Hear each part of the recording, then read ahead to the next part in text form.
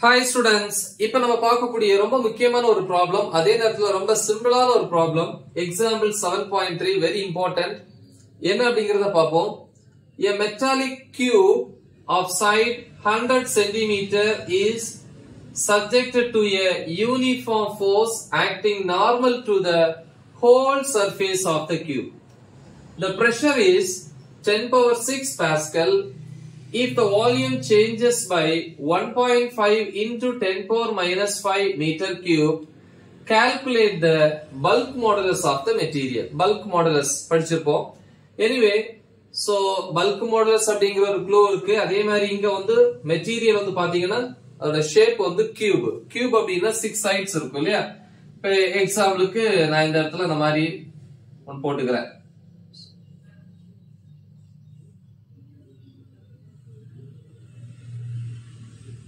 So கியூபுக்கு example இல்லையா so இதுல வந்து சிக்ஸ் சைட்ஸ் இருக்கு இல்லையா சோ இந்த side one two top one three bottom four இந்த சைடு ஒன்னு five that side six totally six sides okay so இதுல ஒரு சைடோட லென்த் வந்து பாத்தீங்க அப்படின்னா ஹண்ட்ரட் சென்டிமீட்டர் ஓகே கொடுத்திருக்காங்க. அப்புறம் எல்லா பக்கத்துல இருந்தும் என்ன ஆகுது அப்படின்னா ஃபோர்ஸ் வந்து ஆக்ட் ஆகுது. அந்த ஃபோர்ஸ் எப்படி இருக்கு? சர்ஃபேஸுக்கு பர்பண்டிகுலரா நார்மலா ஆக்ட் பண்ணுது. அதான் கொடுத்துருக்கு. Acting normal to the whole surface of the cube so அப்ப என்ன ஆகுது? பிரஷர் கிரியேட் ஆகுது. பிரஷர் கொடுத்துருக்காங்க. அப்ப அதே நேரத்துல முதல்ல இருந்த வால்யூம் இப்போ வந்து என்ன ஆகும்? அப்படியே பிரஷர்னால கம்ப்ரஸ் ஆகும்போது சேஞ்ச் ஆகும். அப்ப எவ்வளவு சேஞ்ச் ஆகுது? அதையும் கொடுத்துருக்காங்க. அப்படின்னா கால்குலேட் த பல்க் மாடல்ஸ் படிச்சிருப்போம் பல்க் மாடல்ஸ்க்கு என்ன லெட்டர் கே என்ன எக்ஸ்பிரஷன் மாடல்ஸ்னாலே ஸ்ட்ரெஸ் பை ஸ்ட்ரெயின் தான். அதுவும் bulk மாடல்ஸ்னா volume stress by volume strain ஸ்ட்ரெஸ்ஸுக்கு letter வந்து சிக்மா வால்யூம் ஸ்ட்ரெஸ் இதுக்கு இன்னொரு பேர் இருக்கு ஃபோர்ஸ் பெர்பண்டிகுலர் ஆக்ட் பண்றதுனால நார்மல் ஸ்ட்ரெஸ் அல்லது பிரஷர் இப்படின்னு சொல்லுவாங்க. மூணு பேர் இருக்கு. Divided by volume strain strain இந்த மாதிரி சை வால்யூம் ஸ்ட்ரெயின் இதுதான் வந்து ஃபார்முலா எனிவே ஃபர்ஸ்ட் நம்ம இங்க டேட்டா எழுதிடுவோம் என்னென்ன கொடுத்துருக்காங்க அப்படிங்கறத பார்ப்போம். ஃபர்ஸ்ட் வந்து பாத்தீங்க அப்படின்னா சைடு வந்து கொடுத்துருக்காங்க இல்லையா? So side I mean length கொடுத்துக்கலாமா? L is equal to hundred centimetre அப்புறம் வந்து பிரஷர் கொடுத்துருக்காங்க pressure P is equal to ten power six pascal okay அதே மாதிரி வால்யூம் சேஞ்சஸ் வால்யூம் சேஞ்சஸ் அப்படின்னா change in volume delta V is equal to 1.5 into 10 power minus 5 meter cube. Then calculate the bulk modulus. Letter another K is equal to question mark. இப்ப solution எழுதிருக்கோம் data கீழே solution சொல்யூஷன்ல formula இல்லையா bulk modulus K is equal to volume ஸ்ட்ரெஸ்ஸா uh, இருக்கலாம் அல்லது normal ஸ்ட்ரெஸ்ஸா இருக்கலாம் இல்லது பிரஷர் எது வேணா எழுதலாம் இல்லையா? சோ அப்ப எழுதிக்கலாம்.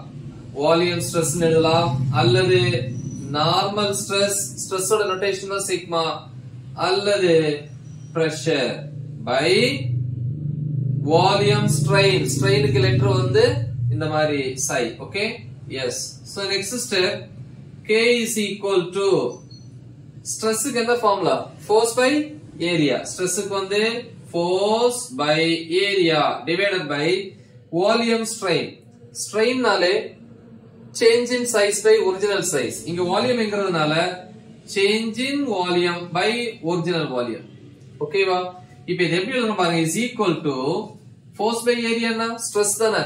ஸ்ட்ரெஸ்னாலும் பிரஷர்னாலும் செய் அப்ப இது மொத்தமா நான் பிரஷர் பீன் போட்டுக்கிறேன். ஏன் அப்படின்னா டைரக்டா ஃபோர்ஸோ ஏரியாவோ கொடுக்கலாம். அதனால இது மொத்தமா பிரஷர் ஏன்னா பிரஷர் வந்து கொடுத்துருக்காங்க.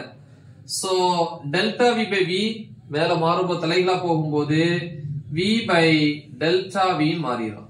சோ அப்ப K is equal to pressure இங்க இருக்கு ten power six into volume கியூபுக்கு இல்லையா? Length into breadth into height length into breadth into height so இங்க என்ன எழுதிக்கலாம். Volume is equal to length into breadth into height length வந்து என்னப்பா இங்க?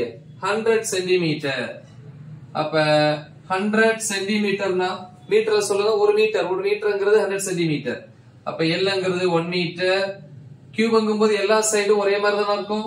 அப்ப bread one metre ஹைட்டும் one metre so one into one into one one தான். One metre cube okay so அப்ப அது வேணா இங்க எழுதிக்கலாம். Volume V is equal to 1 meter cube. அப்ப V யோட value 1 divided by change in volume 1.5 into 10 power minus 5 so K is equal to 1 by 1.5 so divide பண்ணா அல்லது கஷ்டமா இருந்துச்சுன்னா என்ன பண்ணுங்க? மேலே கீழையும் டென்னால மல்டிப்ளை பண்ணிக்கோங்க. ரூல் யூஸ் பண்ணும் ஒரே மாதிரி யூஸ் பண்ணோம் ஒன்னு டென்னால மல்டிப்ளை பண்ணா டென் தான் பை ஒன் பாயிண்ட் ஃபைவ் டென்னால மல்டிப்ளை பண்ணா பிப்டீன் மீதி என்ன இருக்கு? Into ten power six minus five மேல வரும்போது பிளஸ் ஃபைவ் ஆயிரும்.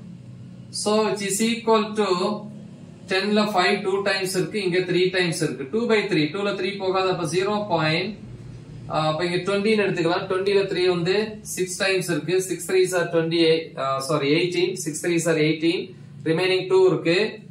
த்ரீ பவர் ஜீரோ ஆட் பண்ணோம் டுவெண்ட்டி ஸோ அதுலேயே வந்து சிக்ஸ் சிக்ஸ் சிக்ஸ் போயிட்டே இருக்கும். Into ten power six plus five eleven இதை ரவுண்ட் பண்ணீங்க அப்படின்னா which is equal to zero point six six seven அப்படின்னு எழுதலாம். ஏன்னா இதுக்கு அடுத்து போயிட்டே இருக்கும். இதை டிவைட் பண்ணும்போது சிக்ஸ் சிக்ஸ் இப்படி போயிட்டே இருக்கும். அதனாலதான் எப்படி எழுதலாம்? ரவுண்ட் பண்ணும்போது ஜீரோ பாயிண்ட் சிக்ஸ் சிக்ஸ் இது எல்லாத்தையும் செவன் மாத்திட்டேன். ஏன்னா லாஸ்ட் டிஜிட் எந்த டிஜிட்டை நீங்க ஸ்டாப் பண்ண நினைக்கிறீங்களோ அதுக்கு முந்தின டிஜிட் கூட ஒன் ஆட் ஆயிரும். ஓகே இது எல்லாருக்குமே தெரிஞ்சதுதான். Into ten power eleven so இதுல இருந்து கே இஸ் ஈக்குவல் டு ஒரு பாயிண்ட் நீங்க தள்ளி வச்சிட்டீங்கன்னா six point six seven into ten power இங்க இப்ப டென் ஆயிரும். தென் பல்க் மாடல்ஸோட யூனிட் என்ன யூனிட் பொதுவா ஸ்ட்ரெயினுக்கு யூனிட் கிடையாது. ஏன்னா இதுவும் வால்யூம் வால்யூம் கேன்சல் ஆயிரும். அப்ப ஸ்ட்ரெஸ்ஸுக்கு என்ன யூனிட்டோ அதுதான் மாடுலஸ் இருக்கும் ஃபோர்ஸுக்கு என்னது? நியூட்டன் ஏரியாவுக்கு மீட்டர் ஸ்கொயர் மேல வரும்போது metre power minus two so இதுதான் bulk மாடுலஸோட value with units very simple important one நல்ல தெளிவா பிராக்டிஸ் பண்ணுங்க. மறக்காம இதை உங்க ஃப்ரெண்ட்ஸுக்கு ஷேர் பண்ணுங்க. All the best thank you